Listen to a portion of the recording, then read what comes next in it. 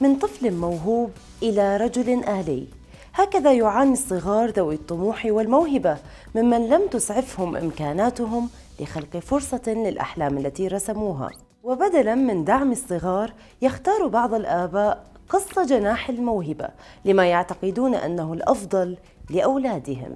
سنوات عديدة يضطر فيها الصغار إلى تحمل ضغط الآباء إجباراً على طريق معين وعلامات دراسية معينة وبالتأكيد مستقبل ووظيفة معينة.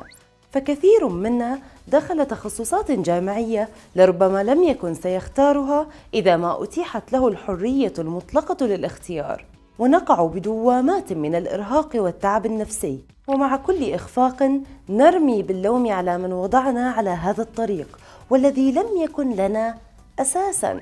رغم أن نية الآباء لم تكن يوما لمضرة أولادهم بل هي تجسيد حقيقي للحب والاهتمام وطموح لرؤية فلذات كبدهم بأفضل مكان في العالم.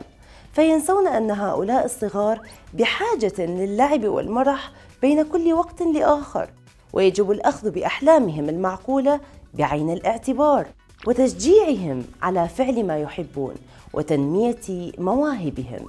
قد يجعلنا الحب نتصرف بشكل قاس مع من نحبهم في بعض الأوقات خصوصا مع أطفالنا. فلا يوجد أب أو أم في العالم لا يحرص على المستقبل. لكن إن دمجنا الحرص مع القسوة فلن نخلف إلا اليأس لصغار لا يعرفون لما نقص عليهم مما قد يؤدي مستقبلا إلى حالة من الرفض القاطع لكل ما يريده الوالدين. إذا ما هو الحل؟ ببساطة لنستمع إليهم ولنحرص على مستقبلهم دون إجبار على مسار معين. فالأطفال أذكى بكثير مما يمكن أن نتخيل ومع التوجيه الصائب فقد يبهرونك بما يمكن أن يفعلوه.